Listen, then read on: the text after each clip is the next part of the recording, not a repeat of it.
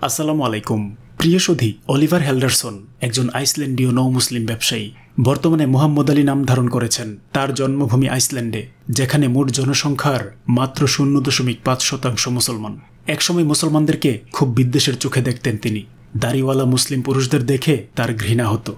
কিন্তু একদিন হঠাৎ কলম কিনতে বের হলেন এবং ফিরিলেন মুসলিম হয়ে।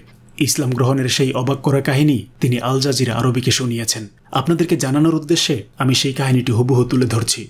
মোহাম্মদ আলী বলেন, মরক্কোর রাজধানী রাবাতের একটি মহল্লায় এক যুবকের সঙ্গে আমার সাক্ষাৎ হয়। সে ছিল বিশ্ববিদ্যালয়ের শিক্ষার্থী। একদিন আমার হাত ধরে সে আমাকে রাবাদের গ্র্যান্ড মসজিদে নিয়ে গেল।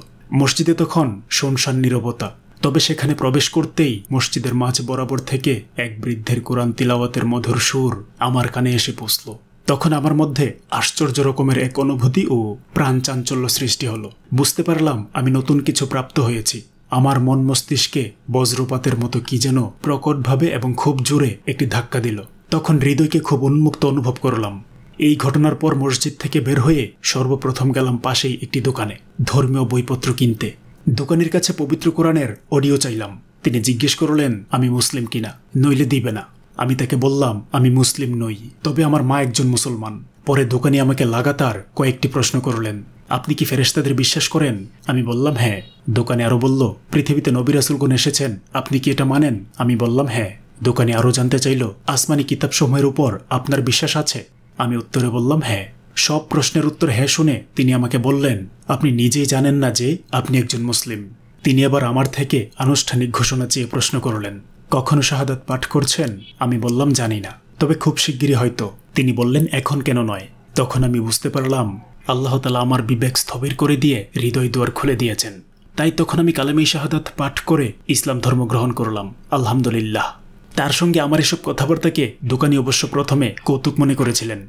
পরে আমার সম্পর্কে বললেন, ভাই আমার, আপনি আজীব মানুষ। খাতা কলম কিনতে এসে দেখি মুসলিম হয়ে ফিরে যাচ্ছেন। এবং তাই হলো, সত্যি আমি মুসলিম হয়ে ফিরে এলাম। এখন আমি এবং আমার পরিবার যথাসম্ভব ইসলামী অনুশাসন মেনে চলার চেষ্টা করি। আমার বারো বছর বয়সী ছেলে ফয়সাল, সেও বিগত রমজানে রোজা রেখেছে। শুধু তাই নয়, ফয়সাল তার মা লাবণী হ্যালডারসনকে জানিয়েছেন, রোজার মৌসুমের লম্বা দিনগুলোতেও রোজা রাখতে তার তেমন সমস্যা হয়নি। শুরুতে নাকি একটু কষ্ট হতো, এখন সে তাতে অভ্যস্ত হয়ে গেছে। আমার স্ত্রী লাবণী হ্যালডারসনকে জিজ্ঞেস করেছিলাম, তোমার কি ইসলামী অনুশাসন পরিপালনে খুব কষ্ট হচ্ছে? সে তেমন বড় রকমের সমস্যায় পড়েনি, জানিয়েছে। তবে বলেছে, পাকিস্তানে থাকাকালীন রোজার খুব কষ্ট হতো, কারণ সেখানে প্রচণ্ড গরম ছিল। এখন আল্লাহর ইচ্ছায় আমরা খুব ভালো আছি। আমাদের পরিবারের সবাই মুসলিম এবং আমাদের বাড়ি একটি মুসলিম বাড়ি। ব্যাপারটি সত্যি দারুণ রোমাঞ্চকর। সম্মানিত সুধী, কলম কিনতে এসে মুসলিম হয়ে ফিরে যাওয়ার ঘটনা সম্পর্কে এই ছিল আমাদের আজকের সংক্ষিপ্ত আলোচনা। আমি ইসলামের ইতিহাস আর ঐতিহ্যগুলো জানতে এবং আপনাদেরকে জানাতে চেষ্টা করি এবং আরও চেষ্টা করি সর্বদা সত্য ইতিহাসগুলো আপনাদের সামনে তুলে ধরতে। তারপরেও আমার মধ্যে ভুল ত্রুটি থাকতেই পারে।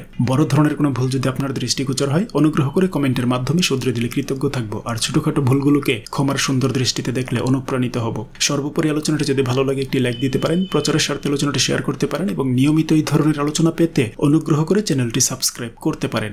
আসসালামু আলাইকুম রহমতুল্লাহি অবরাকাতহু